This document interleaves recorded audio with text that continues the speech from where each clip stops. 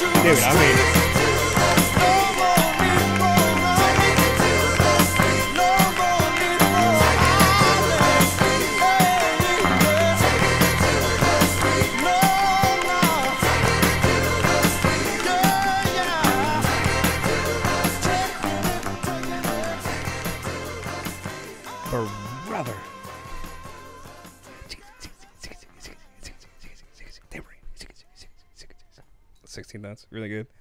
Damn. Damn, that is the opposite of who produced Metallica. Yeah. Oh, you, I don't know these things, dude. good. They'll get it probably. Metallica has like no bass. They have like Oh. they, they oh. like turn the bass down so low that it's basically not there. And this, the guitar was like way disparaged, which Yeah. I thought was so cool. Very ballsy. Almost Yeah. too much bass, which I've never said. Yeah. There were some points where I was like, and it like hit. And I was like, that's a lot, but I love the sound. Yeah, It's so driving. I thought it was very interesting. Yeah, interesting. Very interesting. Want it? I loved it when he called it like towards the end where he did the boom, boom, like Yeah. thing. I thought that was super Yeah. sick. It was just a lot of really tasteful stuff. I mean, when you put bass that forward, uh, the tone has to be right, and the tone was right. The playing had to be right. The timing had to be right. Everything checked all the boxes. Uh, I loved the gospely soul elements of this, especially at the end as you hear the yeah. ripping organ. Like by far, to me, that's my favorite part of the whole song. I love the groove. Like there was no part of this I didn't like. Uh, I also liked the uh, like the motif and like the idea behind not the motif, but Yeah. I loved the lyrics of the song and like the message behind it which I assume is like, or from my listening, was him talking to the streets Mm-hmm. and him being like, "I'm your brother. Like I, I Mm-hmm. grew up here. You might not know me." And I was trying to get what he meant, and then I'm like, "Oh, you can find my brothers. They're all. You ask anybody who lives in a big city, Mm-hmm. and it's like you know the promises that they should have been gotten and the way they should be treated hasn't really happened." Yeah. And so I, I don't know. It, it felt like this kind of unification, or just at least highlight of like, yeah, city living can suck for a lot of the people below the poverty line. Mm-hmm. And um, yeah, I don't know. Just thought thought it was awesome. Thought Yeah, was I, awesome. I thought the message was really cool. I liked all the individual elements. I wasn't huge on the song at first. Yeah. But like, dude, once it like there was the two sections where it just got into like this crazy breakdown region where it just Yeah. was so saucy, and I loved it a shit ton. yeah, I felt a little bit weird with the way that it combined everything because this did not feel like a Doobie Brother. If you would have shown me this song, I would not have said Doobie Brothers. Yeah. or James Or Taylor. I would James not have picked yeah. either one.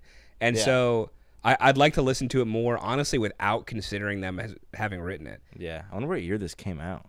Seventy six. So interesting. It's a really good song.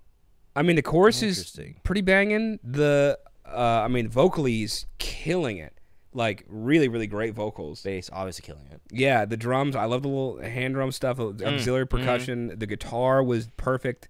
You know, even though it's tucked in the mix, kind of on the left side, just like noodling around a bit, doing some like chordal stuff.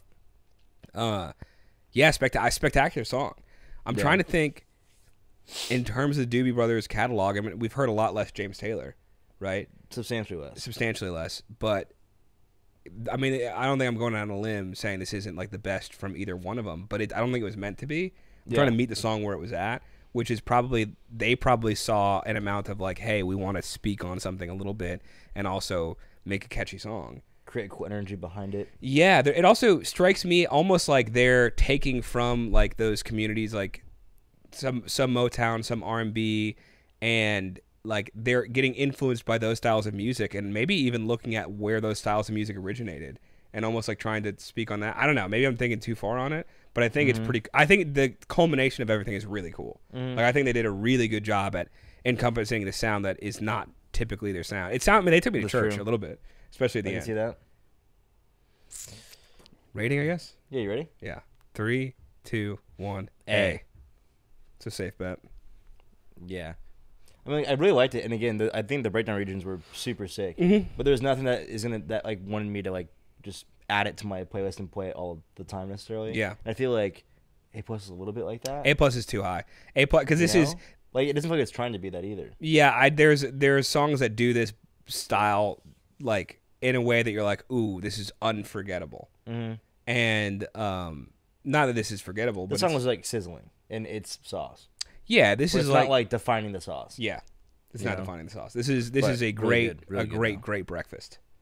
It's like no one's ever been like, oh my god, this one time I had the best meal of my life. It was eggs, right? But if you have a great breakfast, you're like, ooh, this hit the spot. You're a little hungover. Mm-hmm. Maybe you're in, I don't know, let's say Mobile, Alabama. You're in Mobile, Alabama. place? Mobile, yes. In Oh, fact, that's crazy. I've been hungover in Mobile, Alabama. And this is where the Really? story comes from. Yeah. Uh, you know, you're hearing this and you go to a Waffle House a little too early in the morning that you'd like to, but it's too late in the morning for anybody else to think it's too early in the morning. Mm-hmm. And you're there having some shitty diner eggs with a lady with a bunch of hair colors in colors in her hair, and I you think their can't eggs are see pretty good. you can't see very many of the colors because you're Alex. Yeah. The song would hit then. I think Waffle House has pretty good eggs. I think they have,